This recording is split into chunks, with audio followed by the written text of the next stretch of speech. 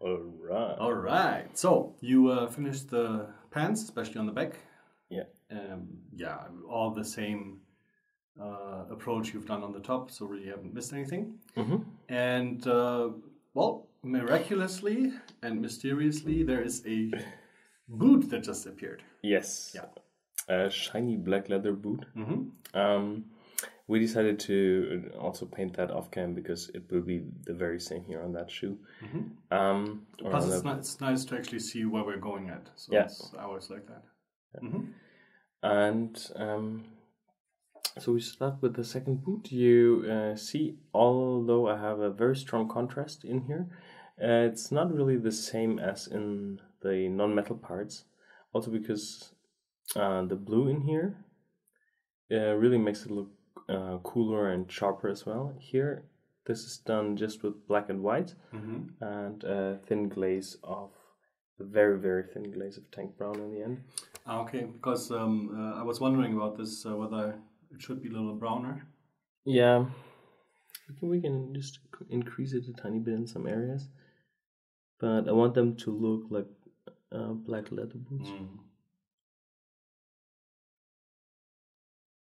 It's actually a um, little trick um, also on uh, non-metallic metals and so on, uh, like stuff that faces the ground um, to make it um, uh, in ground colors. And of course, if you don't really have a base in mind already, uh, like brown is usually a good color uh, to use. And then uh, putting something more like blue in the in the highlights Yeah, as, as a reflection from the sky.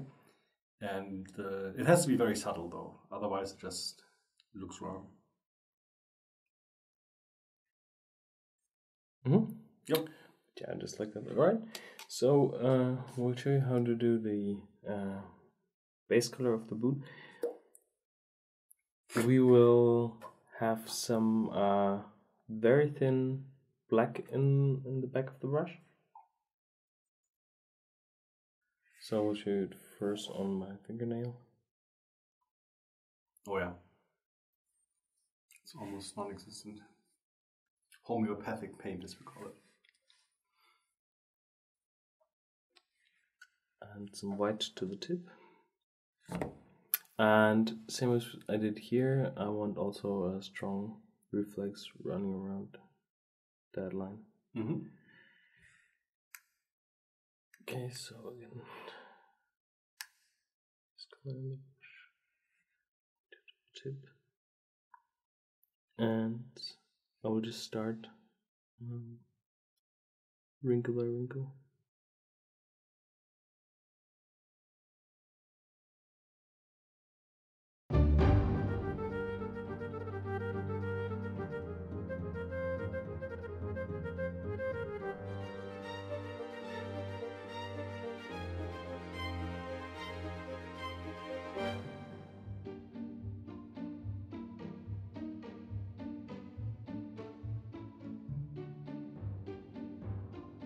Really, the the black in the back of the brush is uh, almost like um, feathering with uh, just water. But the pigments help a little bit because the contrast here is, of course, extremely strong.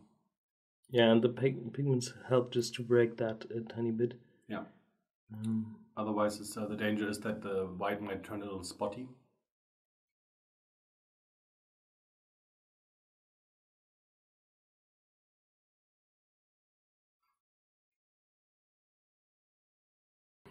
And again, this is one of, uh, I wouldn't say, Ben's little secrets is, is uh, to uh, really put down strong contrast.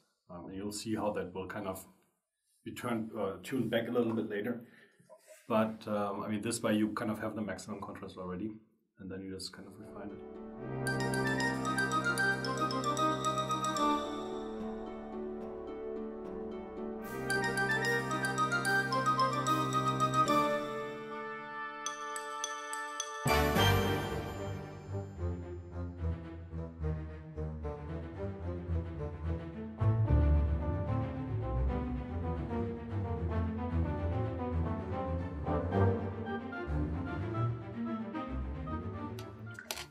Can you say something about uh, where you position the lights? Because uh, we said the light comes from the kind of top left a little bit.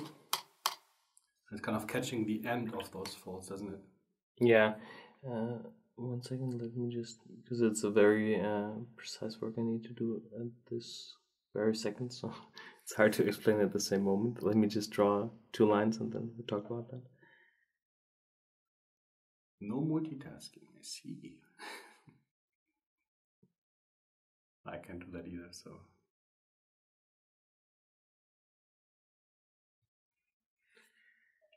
Because I want to have that separation line between the because we have this uh, place on border here. Mm.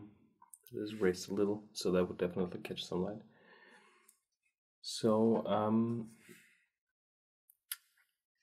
we have, as we have the the highlight here on the breastplate as well, from, Mhm. from this direction. I want the the light to be kind of from the same angle, so catch here in just one straight line downwards, Yeah. with like on this side. I think that's the key word one straight line. Uh, they're all, uh, all of them are kind of uh, like in a row, if you want. Yeah. And that's that's very characteristic for these kind of uh, shiny leather, um, latex kind of uh, material.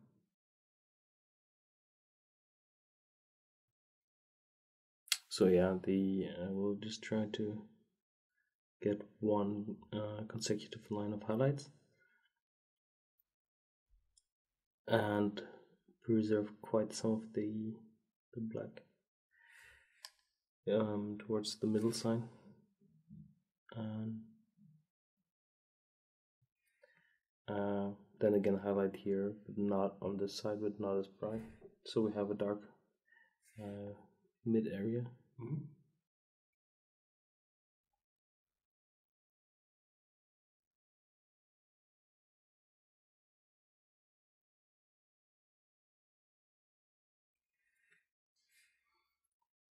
I think you all recognize this uh, strength of the loaded brush technique here.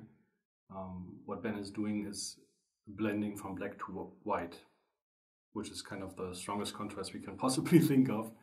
Um, and if you try to do this with glazes, you just not have a fun day. Like glazes or traditional kind of layering techniques and stuff.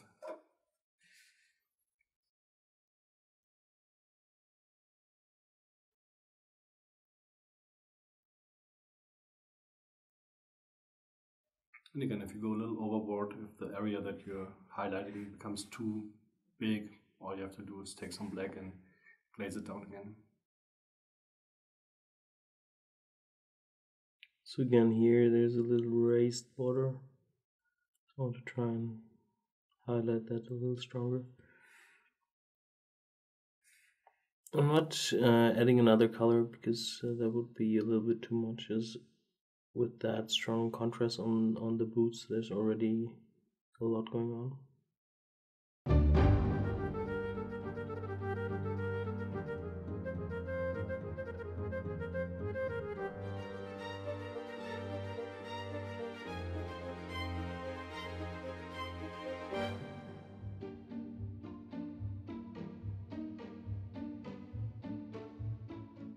To blend in these highlights here, uh, I will mix a little gray on the palette because I need to soft them out a little to to one side here and to the back.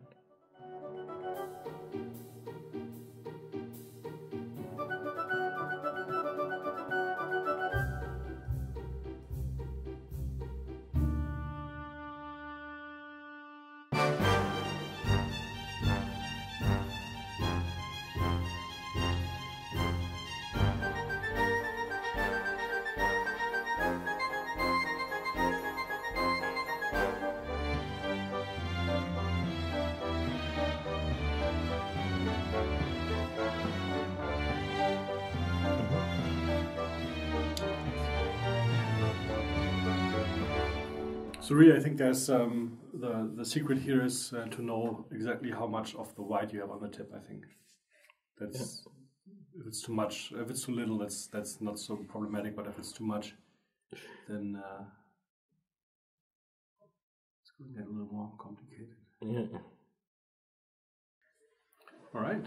All right. So far for uh, the the main highlight here on that boot. Um, I will do another one um, in the same method, but, but not as bright here on, on that side. Mhm. Um, therefore, I will therefore I will mix a light gray on the palette, so I have that ready for a loaded brush. So you're placing the white highlight with a light gray, Yeah. just to be darker right from the start. Yep.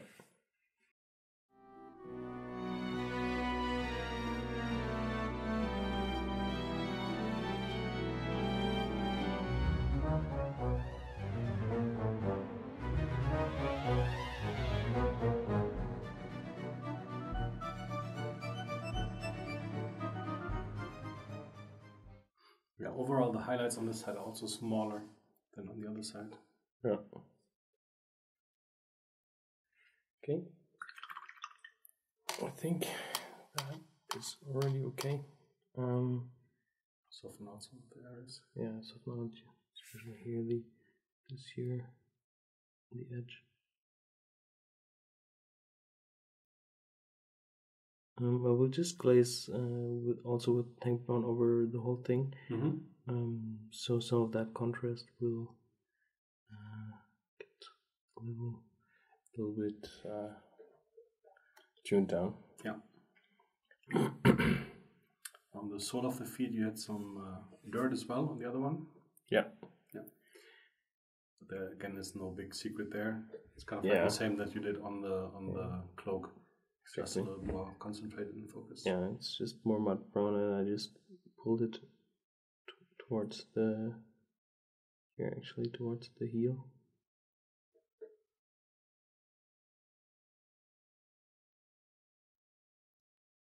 And I will tone that down also with some of the strong tone, but it looks like dried mud. It's actually quite nice because it becomes quite dusty.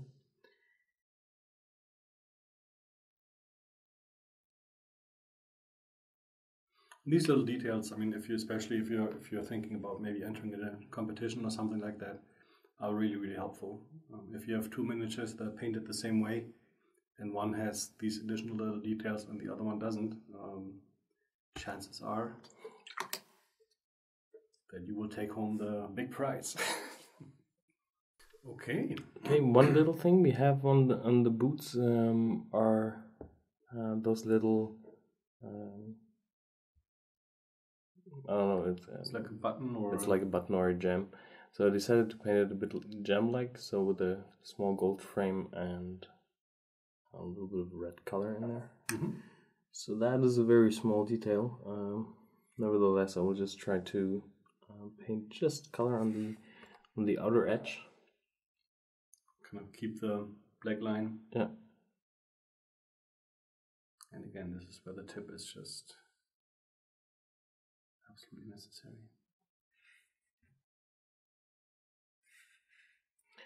Okay, for the gold again, it's uh, Japanese uniform. This time because it's such a small detail, it's pure Japanese uniform, not toned down with black. And some white.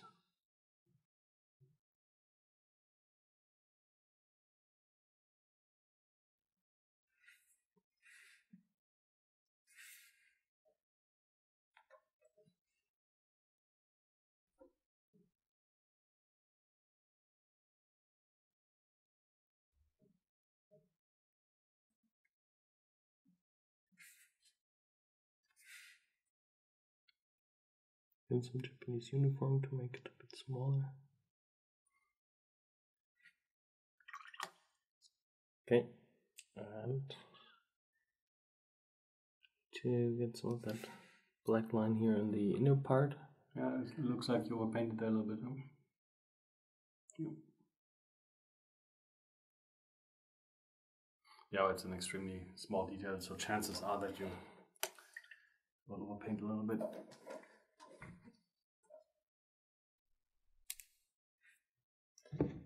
Um, I've added some red to the palette. A model color red. Big, but just a tiny bit of red here on the tiny bit of red here on the lower side.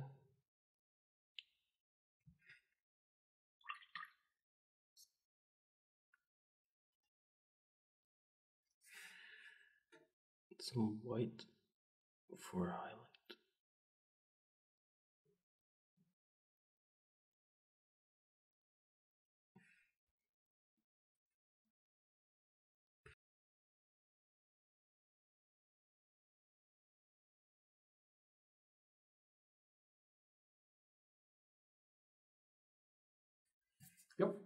Looks like metal, all right. So I would do that on the other side, um, but uh, yeah, then I would call the boots actually to be done. There's not that much left, is there? Uh, no, we just have the um, shoulder pads to do and the uh, hat with the feathers. Nice. All right. Yep, looking good so far.